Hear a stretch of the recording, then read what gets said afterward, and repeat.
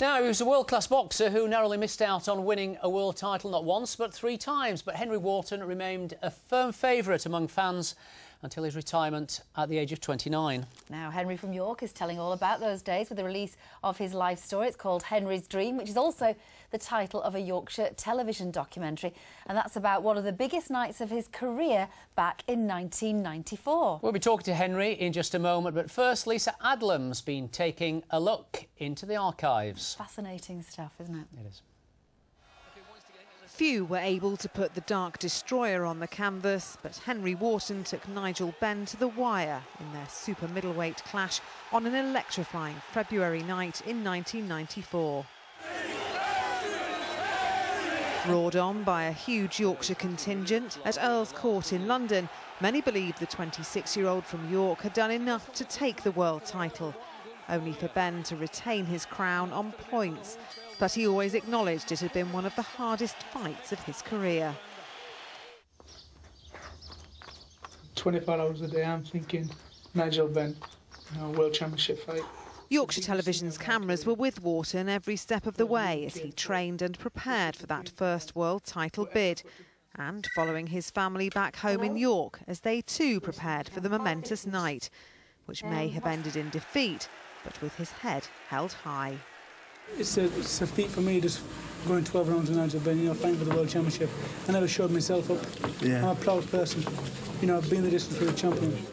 Two more bids for that elusive belt were also lost on points to Chris Eubank and Robin Reid before Wharton's retirement at the age of 29. He was reunited with his old foe Benn in 2012 this time for the official opening of Henry's Gym in York, where now a new generation of boxers are learning from one of the sport's greats. And here is uh, Henry now. Uh, it took you a while to agree to the book. I mean, are, are you happy with the result? Can't believe how well it's gone. It would taken 12 months overall, and uh, it's fantastic. The first chapter, the author read the first chapter back to me, and I swear, if it had said, how are you, I'd have cried. Really? Yeah. Yeah, because, I mean, you were around at a great time in middleweight boxing. I mean, you fought Nigel Benn and Chris Eubank. It was an incredible time. Fantastic time. And I think uh, people go, you know, was you disappointed that you didn't win a world title? No, because I boxed. I, I still get plaudits today from because I fought so hard and I, I tried really to win the world title. It'd been lovely, but the achievements I won, apart from the world title, I was British, Commonwealth and European champion. Proud I've got in myself and for my trainers and my coaches helped me through that, them years. I was a proud person anyway, but to win them titles, British come from European, I won't say there was enough for me because I wanted to be world champion, but there was great achievements. Mm, they were indeed. Now, the book talks about how you kind of started boxing. You were, you were from a travelling family, yeah. one of 11 children, and you were boxing by the age of 13, weren't you? By the age of 13, I took up boxing, and it was just like it was, it was meant to be for me. I know people say that all the time, but it really was. As soon as I went in a boxing club, it was, it was my football, mm. in football terms. And you talk of this kind of emptiness that you felt when it all came to an end. I think it's like anybody, when, when something like that, I mean, when you get to world title levels and title levels, you, the phone never stops. Your coaches are always on the, the phone to you. And then when you retire, you know, you train every day. Suddenly you don't have to train every day. I played a lot of golf to get through it, and I got asked a lot of times to come back.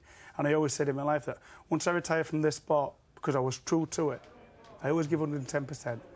I always said, when I retire, that's me done for life. And, and now, thankfully I stuck to that. As we saw there, that you, are training the next generation of champion boxers, including three of your own boys. Yeah, it's, I love it.